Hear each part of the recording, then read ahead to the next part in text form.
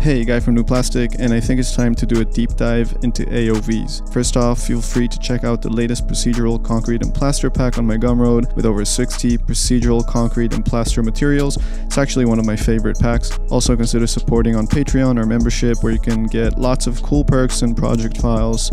All links are in the description. So I had already made a similar video back when Octane was using the multiple pass system and since that video is now irrelevant because Octane dropped that system and moved into AOVs, I feel like I had to make another video. This time we'll go over almost every single AOV and understand what it is and what it's good for to the best of my understanding. Follow me on Instagram at ojeng, like, share, subscribe, bell, buy local products if you can to support the people around you.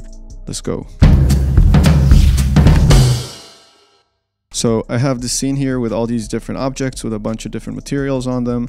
I have one large soft light here from the left and an indoor HDRI lighting and also have a sky object with this solid gray color set on visible only so it doesn't affect the lighting and is only there as a backdrop. So the AOV section is located in your render settings in the Octane renderer section and here we have the render AOV group tab. First thing you need to do is to check enable otherwise it won't work. Next, you want to choose the location where you want your AOV files to be saved, probably in the main render folder of your project. One thing I noticed that is really important to remember is that for some reason, having a local path won't work. The file just won't save. I'm not sure why, but that's how it is, so make sure you write the absolute path of your location on your drive, which means starting from your drive letter and cascading down to your render folder. Local paths look like this, and absolute paths look like this. Also, it's really important to name your AOVs different than your main beauty render, otherwise they will overwrite it. I usually use the name of my beauty render and add underscore molt or underscore AOV to it. Next is the format, depth and compression. I usually just leave it like this. Make sure your format is set to EXR Octane, otherwise stuff like Cryptomattes aren't going to render right. Uh, not sure what show passes is, nothing about it in the documentation. I just leave it checked. Check and save beauty will include the beauty render inside your AOV files. I usually leave it unchecked and use the regular beauty render as its own separate file. Checking multi-layer file will combine all your AOVs into a single file that you can then extract your individual AOVs from in your compositing software. I always leave it checked because, for example, if I have an animation with a thousand frames and 10 AOVs, I end up with 10,000 different files and that's just too messy. So I keep it as a single file. If denoise beauty is checked, the EXR file of your AOVs will also include a denoised version of your main render. It's not checked by default, but I like to keep it checked so I can mix the beauty and the denoise beauty manually in post. If you're opening an older file from before Octane introduced AOVs and was still using the render passes system, like I showed in my old tutorial, you can convert your passes here to AOVs. I tried it and it can get kind of buggy and miss some passes, so make sure you go in manually and add whatever was missing. Okay, so this is where you can manage your AOVs. If we click on it, we get this window with all the possible AOVs on the left side. Oh, by the way, once your AOVs are enabled, you will be able to see each one in the live viewer window down here. Okay, so let's go over each one of these. To add an AOV to your scene, double click on it. When you click on the AOV you added, you can see the details here. So for example, for the Cryptomatte AOVs, we have this drop down menu for the type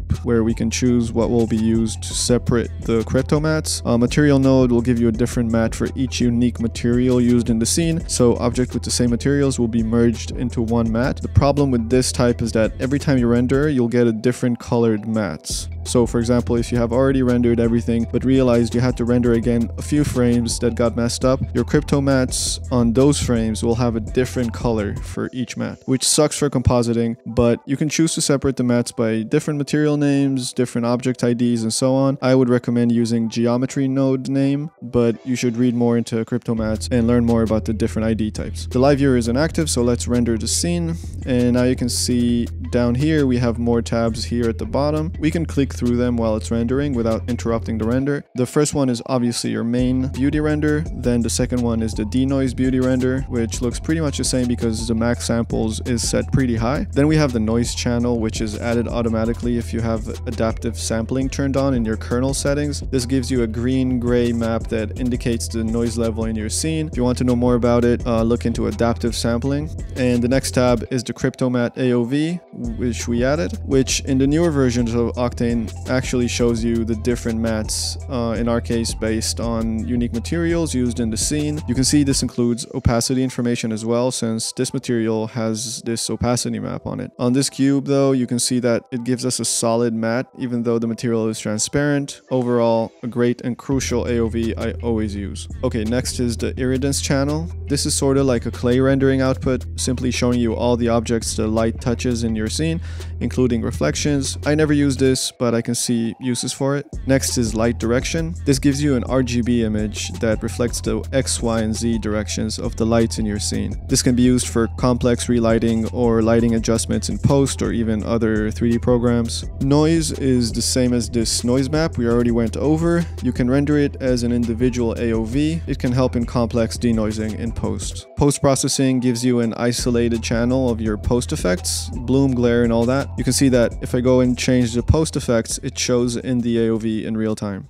The shadow AOV is one of my most used ones. Gives you an isolated view of all the shadows in your scene. This also works with transparency and is greatly affected by the fake shadows options. I accidentally turned on and off the effect alpha option because I'm an idiot. But if the fake shadows option is turned off, you'll see much more shadows in your transparencies. You can also see how shadows on transparent materials are colored if the transmission channel has a color. Again, I use this all the time. Diffuse gives us all the materials that use an albedo channel, so no transparent objects and no metals will show. This material has an albedo channel, but it's fully metallic, so it won't show. And these materials are transparent materials, so they won't show either. Diffuse Direct does the same thing, except it only gives us the first light bounces coming from the lights. So you can see the difference in the main diffuse. We have every single light bouncing in the scene, including reflected lights, but the direct channel does include the reflected lights. Diffuse indirect, however, gives us only the reflected light, so it's missing the first light ray from the lights, but showing only the secondary bounces of the rays from the surrounding objects. One thing to note is that lights coming from emissive materials are considered secondary bounces, so this red cylinder that's emitting light is not showing in the direct channel. In this case, the emission is in the medium channel, but it's the same even if it's coming from the main emission channel. Diffuse filter gives us an non-shaded image of all the albedo channels, same as the main uh, diffuse AOV, but a flat image without specular highlights or shadows. Okay, Octane crashed, but we're back. So the next one is emitters. This will show only a light emitting material or a light object. So you can see the red light emitting cylinder and if I drag the light object in, you can see it as well. This won't show sunlight or HDRIs. Environment will show the sky object. Right now there are two sky objects, one with an HDRI and one with this gray solid color, and that's what it's showing. If I hide it, you can see the HDRI sky. Reflection shows all the specular highlights reflected from all the materials. Reflection filter shows only the specular channel without any lights and shadows, so this object has a metallic red specular, and this object has a light gray metallic specular. The rest have the specular channel set as 1, so it's showing white. If I slowly turn this one down, for example, you can see how it gets darker and darker. Reflection direct only shows the first light bounce on the specular reflection. Reflection indirect only shows the secondary light bounces that are reflecting from other objects onto the specular reflections. Refraction shows only the refractive materials, the transparent materials that are set to specular transmission. So you can see that this yellow material here, even though it has transmission, it's not showing it since it's set to diffuse type. So light is not being refracted, only transmitted. Refraction filter shows the float value of the transmission channels set to specular type. I was trying to turn down the transmission channel to show you the effect until I realized I'm on the wrong material. But yeah, as I turn down the transmission value, you can see how it's getting darker and darker. Subsurface scattering only shows material with subsurface scattering with transmission type set to specular, and it shows you the albedo or scattering color. So you can see, uh, no SSS here. Here, this red material, we have a medium, but the transmission is set to diffuse, so it's not going to show it in the SSS AOV but that's what the transmission AOV is for. This will show us the transmission channel only, also when it's affected by SSS. Transmission filter will show us the value or color of the transmission channel set on the diffuse type, no specular and no shadows. So you can see on the cylinder we have this noise in the transmission channel and on this yellow material it gives us the light yellow color from the transmission channel. Okay, I added this cloud object I quickly created with the new Pyro system in Cinema 4D. It's actually amazing, RIP X Particles Loki. Let's keep going. The next AOV is volume. This will show us all the VDB objects in the scene and you can see that it kind of picks up the opacity levels. So if I turn down the density, you can see how it affects the AOV. Volume emission shows only the emission from the VDBs. In this case, we have no emission information in the VDB, so it's not showing anything. Volume mask gives us a black and white mask of the VDB volume Z depth front and Z depth back give us a gradient mask of the front and the back of the VDB. If we click on it and then click this arrow here, we can adjust the distance of the Z depth. We don't have a lot of depth in the scenes, so it'll be hard to tell. So let's jump into this other scene with the VDB filling up the whole screen. I also have a cube inside the VDB for reference. So if you look at the Z depth front, you can see the gradient getting brighter as it goes deeper into the space. We can adjust the depth max for different scales of depth. So higher will give us a longer gradient, which will capture a larger depth. Now, one issue is we're getting these black chipping artifacts. It's almost impossible to track down the source of it. It's really frustrating and kind of shows how unreliable VDB workflow still is. One thing I noticed is that it has to do something with the light hitting it. So if we take the light source further away, we get slightly more of those artifacts. And if we bring the light closer to the object, you can see we don't really get them anymore. It's not perfect for obvious reasons. One is that this slight change will affect everything else in your scene, and two is that we still get a little bit of those artifacts. Another thing I noticed is that the higher you, your max samples are, the more artifacts you'll get. So if I increase the samples, you can see we're starting to get them again pretty aggressively. So if you're depending on it, maybe the only way is to render your scene again with altered lighting and lower max samples and use the render only for its volume Z depth AOV. We don't see these artifacts as much in the Z depth back, which gives us a gradient, but kind of like from the inside of the VDB. So you can see the cube inside the volume here, uh, with this part being the very back of the volume, getting darker and darker to this front side of the volume. Either way, you get this really harsh aliased dithering effect on the edges that doesn't sit perfectly with the volume itself. So I wouldn't count on this AOV for any extreme post editing. Okay, back to our scene. The next AOV is custom AOV. This allows us to extract very specific objects or even nodes from our render into its own mat. If we expand it, we can assign up to 20 different custom mats. If we take a look at the AOV, we can see Octane shows us everything in the scene. It seems like Octane assigns every object custom one by default. Uh, to assign a custom AOV to a specific object, add an Octane tag to it, and in the object layer tab, you can assign a custom AOV number to it. You can see no matter if I add custom 1 or change the object color, everything counts as custom 1. So I just start from custom 2. Now we have to choose the same number in the AOV manager and now you can see we isolated this object. We're getting a mat of the object and its reflections which actually shouldn't happen by default. I think this is a bug. Uh, in this drop down menu here I can select which parts to include in the mat. So I can say include reflections only, refractions only, or include both. By default it adds none of those. So so you get a matte of the object only, which now you can see it works like it should. But it's cool that you can add all the reflections and refraction as well and adjust them as well in post. Now an even cooler thing you can do with this is to isolate specific nodes. Let's get rid of the octane tag and go into the material of this cloth object here. We have this image acting as an opacity map and we also have this circular gradient as an albedo map. Inside the custom textures menu, we actually have a capture AOV node. And if we pass the albedo node through it, we can assign this node here a custom AOV. So if I select number two, you, we can see that uh, we don't see anything.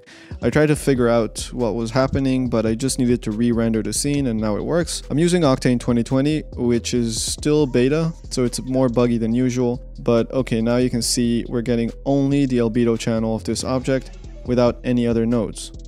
There's a tiny bit of artifact from the opacity channel that goes away once we remove the opacity. Maybe checking the effect alpha will fix it. Nah. But yeah, I still find it extremely useful. And again, you can add the reflections as well. Okay, next we got global texture. This adds a texture to everything in the scene. Right now we don't have one, so we don't see anything. But if we click on this arrow here, we can add stuff here. An RGB spectrum will work and show the color. And we can also include the environment, which will also add it to the sky. And we can also add an image which will use the AOV maps of the objects to wrap around them. Denoiser remainder gives us the denoised image for only the SSS and transmission materials, which are usually much noisier than the rest of the image. Super useful. I use it a lot. Denoiser diffuse direct gives us the first light bounces on the denoised diffuse channels. Denoised diffuse indirect gives us the secondary light bounces on the denoised diffuse channels. Denoiser reflections direct gives us the first light bounces on the denoised specular channels. I use this AOV all the time. Denoiser reflections indirect gives us the secondary light bounces on the denoised specular channels. I use this AOV all the time as well. Denoiser emissions gives us all the denoised emission channels. Denoiser volume gives us the denoised volume objects. For this one, you need to enable denoised volumes in the camera imager tab in your Octane settings. Generally, none of these denoised AOVs will work without enabling the AI denoiser. And denoised volume emissions will give you the denoised emissions of your VDBs, which we don't have any in the scene. Okay, AO will give you the ambient occlusion in your scene. If we click on the arrow, we can adjust the distance of the AO Larger distance fits scenes of larger objects and smaller distance fits scenes with smaller objects. As you can see, it accentuates all the crevices and small detail. Alpha shadows honestly makes no visible difference. It's supposed to allow AO to account for transparent and opacity materials, but I really can't tell the difference. Even toggling other alpha settings like effect alpha, I think this has more effect on the direct lighting kernel, but for the life of me, I never can see any real difference with alpha shadows turned on. Uh, bump and normal mapping allows AO to account for the bump and normal maps in the material. If we zoom in, you can kind of see how there's AO in the tiny bump map scratches, and without it, after the noise is gone, the AO only calculates the geometry so it's fully white. Baking group IDs creates color mats according to the bake ID number for each object. You can set a bake ID number by adding an Octane tag and in the object layer tab, you can change the bake ID here. So you can see how each ID number gets a different color that you can then separate and post. Diffuse filter info is the same as the regular diffuse filter we looked at before. The main difference that this AOV and it doesn't take volumes into account. The other diffuse filter will be masked by any VDB in the scene, but this AOV completely ignores any volumes as if there are none in the scene. Index of refractions shows a grayscale value that represents each material's IOR channel. You can see how most of them are around 1.3, have this dark gray color, and as I increase the IOR of a material, it gets brighter and brighter. In the case of metallic materials, it's representing the metallic IOR. Light pass ID gives us mats for each emitter according to its light pass ID. If I bring in the area light, you can see both the cylinder emitter and the area light are colored the same because they're both assigned light pass ID 1. If I go to the area light tag and change the ID number, it'll have a different color. Material ID will create different mats for every unique material in the scene. This is kind of similar to what a material-based cryptomatte does, but cryptomattes are a newer technology that is generally considered more versatile and more capable when it comes to compositing. I would stick to cryptomattes unless you have a really good reason not to. The motion vectors AOV contains motion information for adding motion blur in post-compositing. Let's jump to this scene where I have these two cubes moving left and right and up and down. I have motion blur enabled in the camera tag and an Octane tag on each object. Because we have the motion vectors AOV added, Octane disables the motion blur in the render because it's assuming we're going to add it in post. If we look at the motion vector AOV, the first frame is empty because there is no movement. However, once we go forward, the cubes get a color that represents their movement direction. This bright orange for movement to the right, dark magenta for movement down, teal for movement to the left, and bright green for movement up. The colors don't represent the position of the cube, only its direction of movement. So object can be placed all over the screen as long as they're moving to the same direction, they'll have the same color. And you got a combination of these colors if the movement is combining two direction at once. Again, super useful if you're trying to do a high quality motion blur in post. There are special plugins for that that can use this AOV. Okay, let's go back to the other project and look at the normal AOVs. Normal geometric gives us an RGB representation of the global normal coordinates of your scene. So every polygon is colored by the direction it's facing. X axis is red, Y axis is green, and Z axis is blue. This AOV ignores Phong smoothing, so you can see it's all faceted. Normal shading is doing the same thing except it's taken into account micro imperfections from the bump in normal channels in the material. Look at all this detail we have here from the bump map that we don't have in the normal geometric AOV. Also, this includes Phong smoothing. I use this AOV all the time as it allows certain control in the 3D space in post-compositing. Normal smooth is doing the same as geometric except it includes Phong smoothing. Normal tangent is using local space instead of global space. You can see each bump is colored in RGB relating to the object space itself instead of the whole object getting the RGB normal color. If you don't understand the difference between local and global normal space, uh, you should read about it. Object ID creates mats colored by different object IDs. By default, they are all ID 1, and these blue and yellow objects already have an octane tag with different IDs assigned to them. If I add an octane tag to this object and change it to ID2, it will automatically assign a different color to it. It doesn't matter if I change the bake ID, layer ID, instance ID, or even object color, it'll automatically assign the object a different color. It's important to note that if an object has multiple meshes merged in it, it will assign each mesh within the object a different color. Object layer color is using the object color in the octane tag to create mats. So each mat will be colored the object color it has in the octane tag. Opacity is using the value in the opacity channel of the materials. So you can see almost all the materials have full opacity, so they're all white, except the cloth with the reaction diffusion pattern. If I add a noise to the material of this rock object at the top, mm, and it's a little buggy, so let me refresh the render. And yeah, now you can see this noise in the opacity AOV. Position assigns RGB colors to the global position of each vertex in the scene. The XYZ position in the scene in relation to the camera dictates the hue and the value of the color. Even though I don't use this AOV, it can be really helpful for complex relighting of your scene in post or in other 3D programs. Reflection filter info and refraction filter info do the same as reflection filter and refraction filter, but again, and not including the volumes in the scene.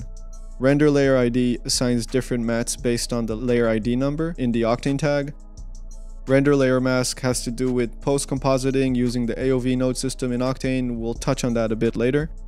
Roughness gives us an unshaded value of the roughness channel of each material, so you can see the material of this pyramid at the bottom has a noise attached to the roughness channel and that's what we see.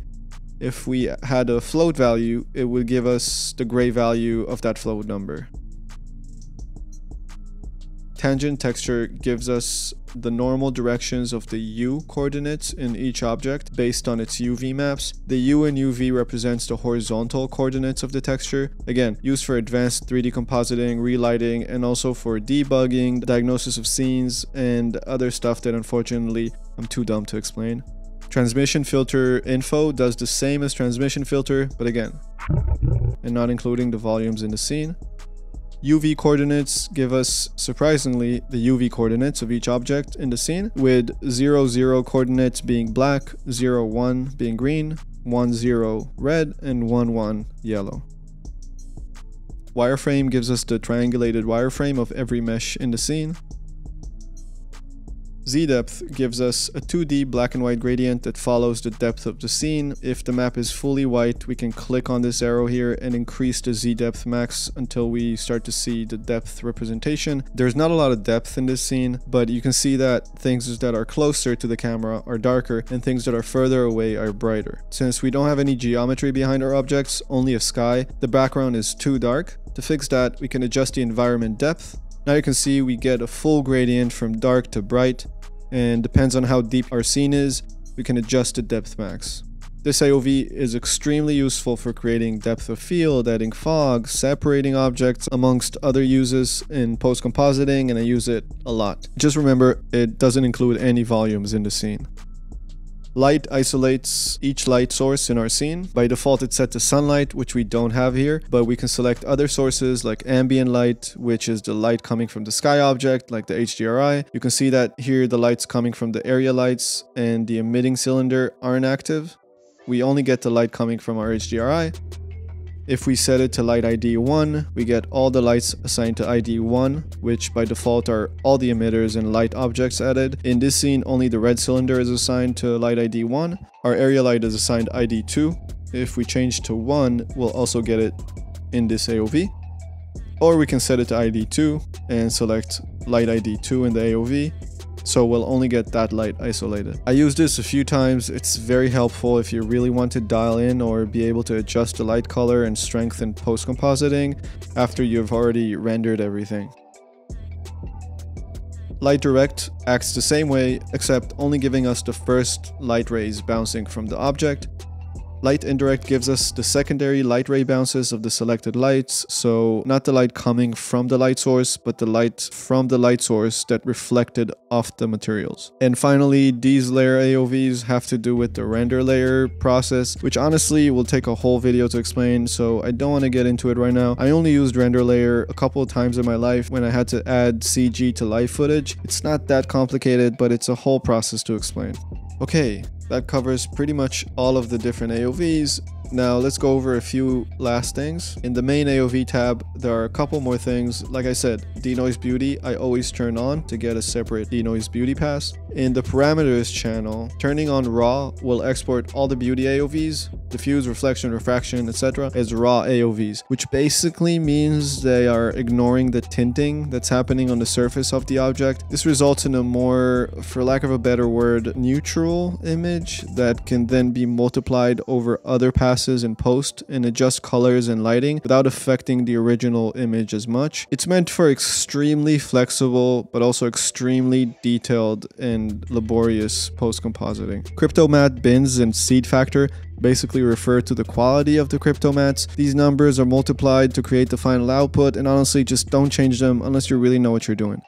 Only thing I would touch is the max info samples, which controls the samples dedicated to the cryptomattes, but I never needed more than 128, so actually just again, unless you really know what you're doing, don't touch it. Info sampling method set to distributed rays tells cryptomattes to include motion blur, depth of field, and pixel filtering in your mats. Non-distributed with pixel filtering won't include motion blur and depth of field, but will include pixel filtering, and the last option won't include any of them. Pixel filtering is pretty much anti jittering, and anti-aliasing. So again, unless you really know what you're doing, just leave it as distributed rays. Info opacity threshold tells the cryptomattes the minimum amount of opacity a material has to have before excluding it from the mats.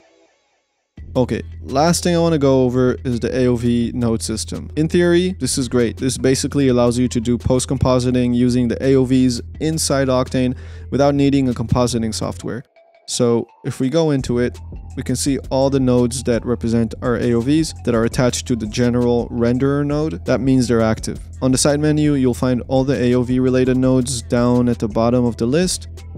You can drag a compositing AOV node from here, uh, or actually better yet, you go to the renderer node and in the AOV group tab, you click add input and that will add a general composite AOV output node. Now here we can click on add input and select which AOV we want to composite. So I'll quickly add a shadow, reflection, and the beauty pass. Let's put the beauty pass at the bottom. Now we have the shadow at the top, reflection in the middle, and the beauty pass at the bottom. And now we can blend them together just like in the composite texture texture node. If I go to the output tab, you can see how they all look blended. Looks pretty bad. I found that changing the alpha operation to alpha compositing looks much more like what you're probably used to in blending layers. If I disconnect the shadow layer, now you can see that the reflection layer is blended using add mode. Now I can change the opacity just like I would in After Effects. And if we plug the shadow layer, change to alpha compositing, and blend mode to multiply, we get the shadows multiplied. I can change the opacity and also I can add a AOV color correction node and adjust the exposure or contrast of the AOV.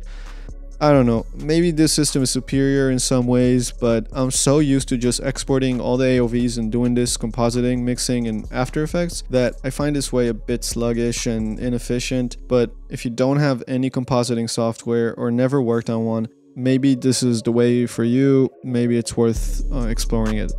Next tutorial, I might go over how to actually composite all these AOVs in post. I did that in a previous video that used the old passes system. The compositing part in After Effects isn't affected, so that second part of that video is still relevant, but maybe it's worth revisiting that process with uh, maybe more stuff in it. Till then, check out the latest procedural concrete and plaster pack on my Gumroad, consider supporting on Patreon if you can, and that's it.